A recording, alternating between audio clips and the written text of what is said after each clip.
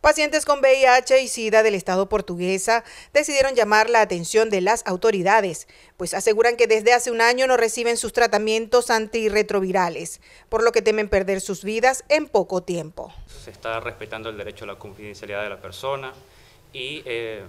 y estamos en estas circunstancias acudiendo a estos escenarios, como los pueden ver, donde hay calaveras, donde hay telas negras, que parece como si fuese una fiesta de Halloween, pero la situación es que estamos tratando de que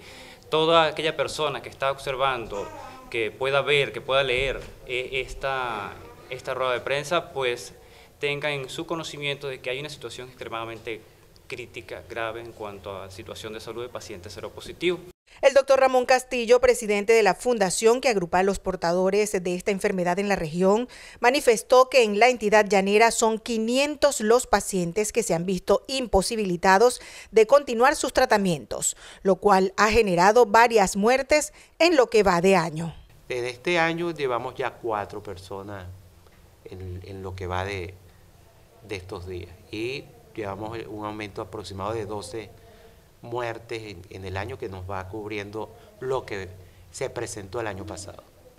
Finalmente manifestaron que han tratado de conseguir ayuda por parte de organizaciones internacionales, pero la negativa del gobierno en abrir un canal humanitario les ha impedido recibir donaciones en gran escala.